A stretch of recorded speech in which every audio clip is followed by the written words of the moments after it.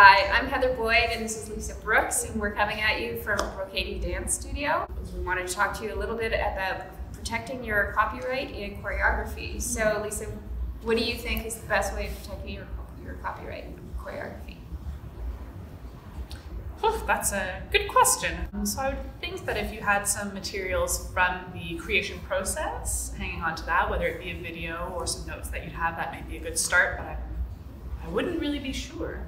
So that's a that's a huge first start because a lot of choreographies actually start um, in selecting the music mm-hmm. and then being able to picture various dance movements to that to that music, right? And I know that both you and your mom actually write little notes. They're cryptic, they're really hard to read. But that in and of itself is proof that you've created this.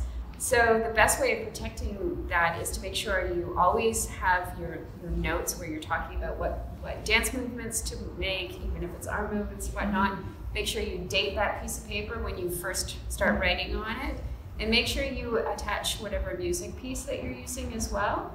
Now, when it comes to editing that music piece, that's a whole different other type of copyright that we're not going to get into right now. But I just wanted to make sure that people understand that the ownership of copyright comes and it can be protected and making sure that once you've finished the choreography, you actually take a video of it and you can mail that to yourself or keep it date stamped as long as it's date stamped. If at all, any time you perform that, then that's what you call your publishing date. So you can claim um, a published work at that point if you have to seek copyright um, protection in order to file a copyright infringement suit or whatnot. Taking those those notes um, and mailing them to yourself, mm-hmm. that date stamps right. them as well. So make sure you retain that. Generally speaking, copy them, yep. mail them to yourself.